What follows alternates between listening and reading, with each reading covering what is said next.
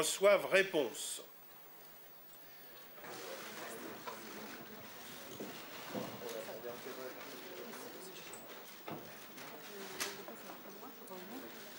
acceptability that illustrates the point about you know what the public will Well, at the moment, we're looking for somebody with what we call a full facial or panfacial injury. In other words, where the, in, the face has been damaged by a process such as a burn or an accident, where the face has been then reconstructed with skin graft or flaps.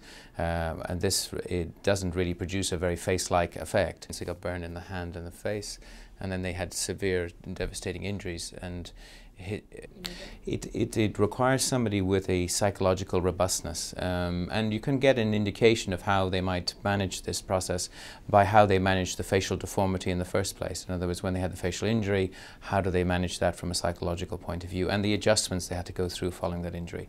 And then how they subsequently managed their reconstructive process when they went through all the plastic surgical operations and some of them have had 50 to 60 to 70 reconstructive procedures. Reasonable skin that would pass as a skin graft or whatever, but not.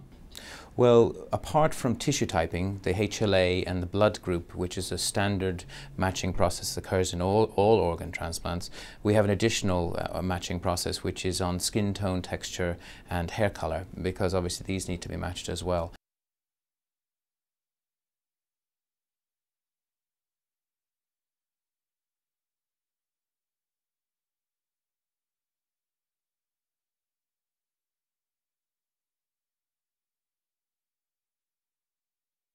And what we ended up looking at is, is looking at through forensic anthropology in regards to uh, uh, simulation of a transplantation from one individual to another. Um, and if you look at the illustrations which we have behind me here, you can see that this is my face here. This is Alex Clark who works with me on the project. And we simulated a transplant between uh, the both of us. And this is my face on top of her craniofacial skeleton. And this is her face on top of my craniofacial skeleton.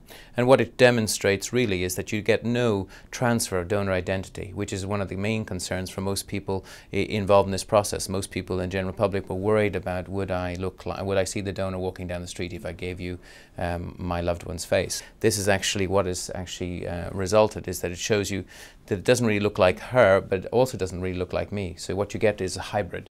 And what we've performed here is a computer simulation of a transplant between myself uh, and Alex, and then Alex and, uh, and my face because of this process being very much in the public eye, the likelihood is the donor family is going to become aware of the recipient. The recipient will probably not become aware of the donor, but the, you, you need to be aware that actually it will be likely that you'll, you will know about the, the, the, the recipient.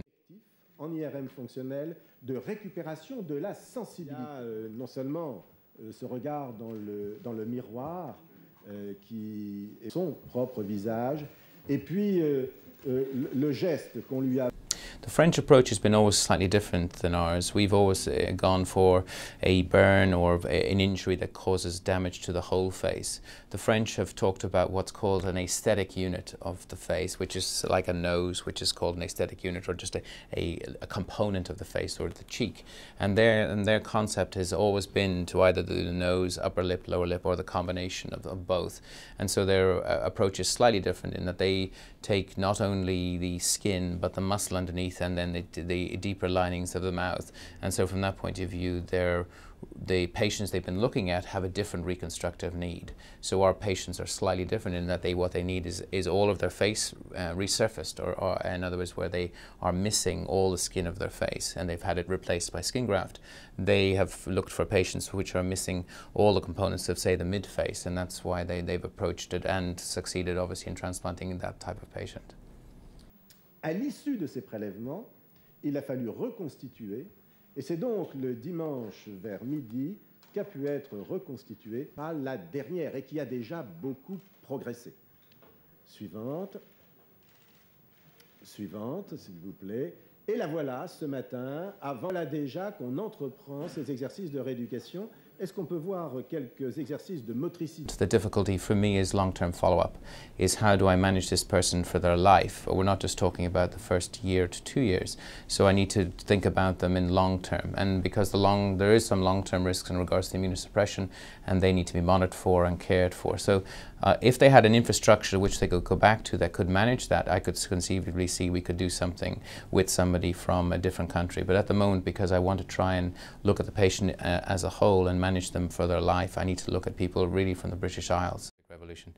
Um, and then a guy called Archibald McIndoe carried it on, who happened to be Gillies, is where you take it from the abdomen, put it onto the arm, bring it up to the face, then hook it onto the face, and then you can move it, this piece of tissue is from the abdomen, and you can move it around to reconstruct a nose or a forehead or anything.